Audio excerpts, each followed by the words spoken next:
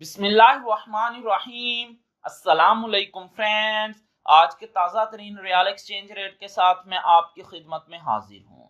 Dollar inter bank میں بڑھتے بڑھتے دو سو اٹھتر روپے اٹھارہ پیسے پر پہنچ چکا ہے۔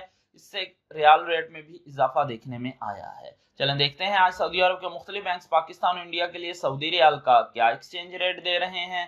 ویسٹرن یونین پاکستان کے لیے تہتر روپے انتالیس پیسے انڈیا کے لیے اکیس روپے، اٹھاسی پیسے منی گرام پاکستان کے لیے تہتر روپے انتیس پیسے انڈیا کے لیے اکیس روپے، نواسی پیسے فوری بینک پاکستان کے لیے تہتر روپے، بتیس پیسے انڈیا کے لیے اکیس روپے، اکانوے پیسے ایس ٹی سی پے پاکستان کے لیے تہتر روپے اٹھائیس پیسے انڈیا کے لیے اکیس روپے اکانوے پیسے انجاز بینک پاکستان کے لیے تہتر روپے چوبیس پیسے انڈیا کے لیے اکیس روپے نواسی پیسے کوئک پے پاکستان کے لیے تہتر روپے سینتیس پیسے انڈیا کے لیے اکیس روپے نوے پیسے الراجی بینک پاکستان کے لیے تہتر روپے تیس پیسے انڈیا کے لیے اکیس روپے ستاسی پیسے A N B Telemoney Pakistan کے لیے تہتر روپے تیئیس پیسے انڈیا کے لیے اکیس روپے نواسی پیسے سعودی ریال کا ایکسچینج ریٹ دے رہا ہے ملتے ہیں انشاءاللہ اگلی ویڈیو میں. ٹل دین اللہ حافظ.